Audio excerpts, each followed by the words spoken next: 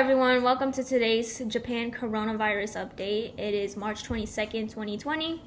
Um, we have now 1,067 infected and 18,963 people have been tested. So there is not a huge difference in the amount of people that they have tested from yesterday. So here I go saying that yes, um, testing is still not being adequate, and it seems like there is a growing concern about within the population about it. So I found a couple articles from Japan Times, and they were being rightfully critical, and it puts all my assertions in words that are explained very well. So this article is titled "Why Experts Sound Alarm Over Japan's Coronavirus Testing." Despite Japan's efforts to carry out more testing for the new coronavirus, medical experts have cast doubt on whether the country can provide adequate testing for citizens and promote effective policies to contain the outbreak. So, yeah, that's kind of like what I've been saying since day one. But, anyways, this claim is supported by the fact that others have warned that many private companies and government bodies in Japan have remained reluctant to take aggressive measures to combat the spread of the pneumonia causing virus until an employee is found to be infected. Yeah, I agree once again because the point is to mitigate the spread of the virus and prevent it from being contracted by many people as possible. I also think with Japan's bureaucratic issues, um, the contact tracing that I would assume to happen is probably going to get very messy with increasing cases. So why not take the measures in place so people don't get infected in the first place? Um, now over here it says results are likely to take up to two weeks and that the number of infected patients may increase during that period.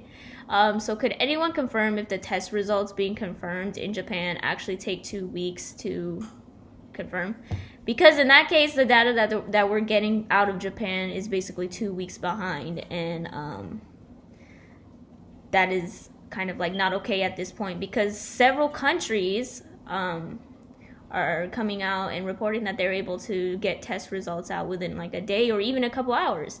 So I really surely hope that that's not the case here in Japan. Next article is Japan was expecting a coronavirus explosion and where is it? Um, my answer it's it's everywhere.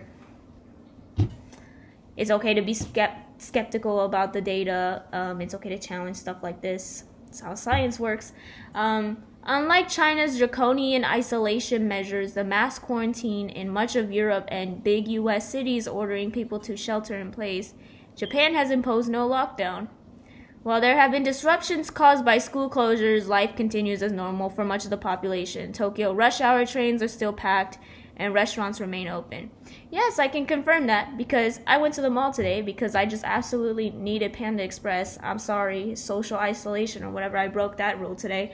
Um, that place was packed and um, traffic is very slow as normal. Uh, but this is what I've been saying. You see all these countries experiencing exponential growth with even lockdowns being put in place and like even more advanced precautions being put in place but japan never even really took that. So i don't understand. It's a good uh, criticism of japan's government.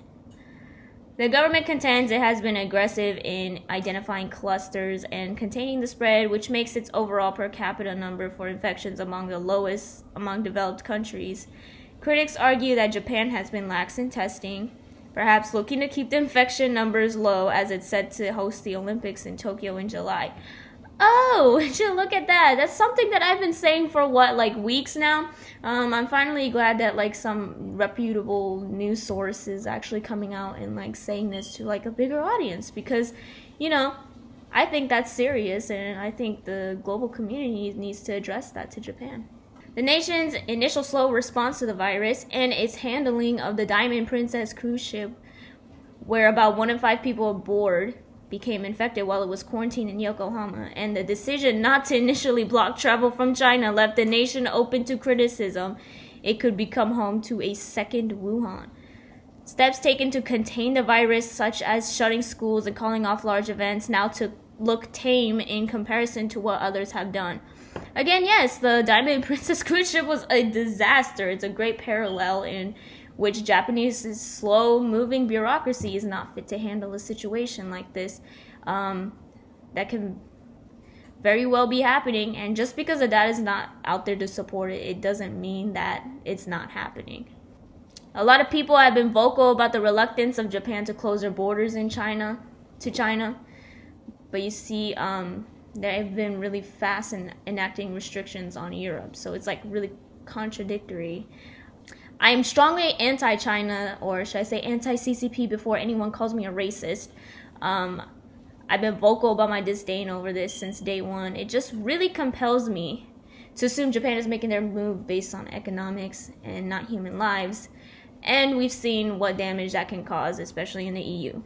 The next one is called Why is Japan Still a Coronavirus Outlier?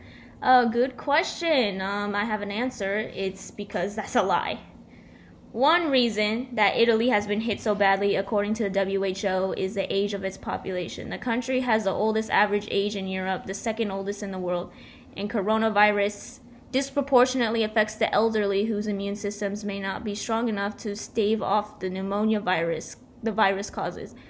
Here, Japan one ups Italy. Its population is the world's oldest and is just as vulnerable. Uh, this makes a lot of sense. It further asserts that there's surely more people out there that have the coronavirus than what they're coming out to say. And it's not like Japan has placed strict measures on its citizens to keep the disease under control. It has neither imposed the level of quarantine we saw in China to curb the outbreak, nor has it been strict with its travel restrictions.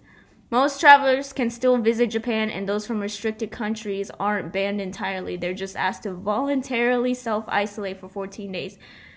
That brings me to the case I was talking about yesterday, where in my prefecture there's a fourth confirmed case in Okinawa. Now, so this is a Japanese article, but here it says that the person in their teens was asked to remain in Tokyo, where she was tested until the results came back, but she ignored their request to continue her travel back to Okinawa. Um, you really think when there's people there doing that type of stuff that like someone just gonna li- listen to the kind requests of the government to self isolate? Because I don't think so. Uh, you see it all over the world. People are asked to quarantine or self isolate, social distancing. People just don't do it. Um, people just don't listen. Um, I have no idea whether they're just stupid or ignorant and selfish to civic duty that they're obligated to do.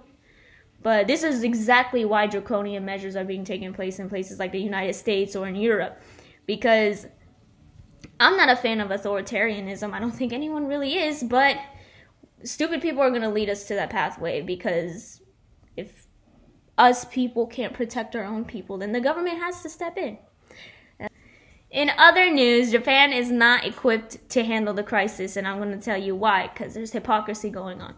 Uh, NHK says that Japan has decided not to extend their school closures after spring break, but theme parks are extending their closures. Um, what does this even mean? The government is sending really confusing messages to its people by doing this. So, like, is it it's safe enough to go to school, but it's not safe to like go to fucking Disneyland? I don't even know. Um, I have no idea because like the government is basically expressing two different things. On one hand, they're saying, "Oh, it's safe to go back to school," and on the other hand, the theme parks are like, "No, we're trying to like mitigate the spread of the virus," and so therefore they're extending the school closures. So that's really confusing. That sends a confusing message to everyone else here, and um, I think the government needs to uh, do something about that because they need to be they need to be all in or not if they're gonna try to do anything about the virus. And right now, this is just going in all different types of directions, and I think it's confusing. I think it's irresponsible, and it's just like a good example of why bureaucracy or heavy bureaucracy just never works. But, anyways, that's all I have for today. Um, please comment any discussions you would like to engage in, uh, what you think about this. Um, yeah, that's all I have for today. Goodbye.